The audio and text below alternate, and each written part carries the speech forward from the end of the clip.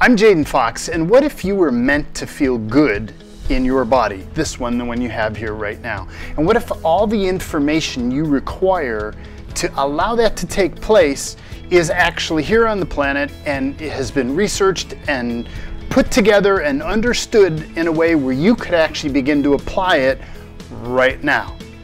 But what if that information is so new that the system hasn't caught up with it yet? And it's going to take 10 years before any of that information gets out. This channel is about gathering that state of the art information in a way that's digested so you can consume it personally, so you can start to change your physical reality, so you have more energy, so you can think clearly, so you can start to feel good in your body.